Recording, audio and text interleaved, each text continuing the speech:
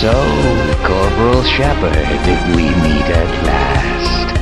Forget about Freeman! We are cutting our losses and pulling out!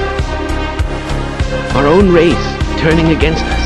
I admit I have a fascination with those who adapt and survive against all odds. They rather remind me of.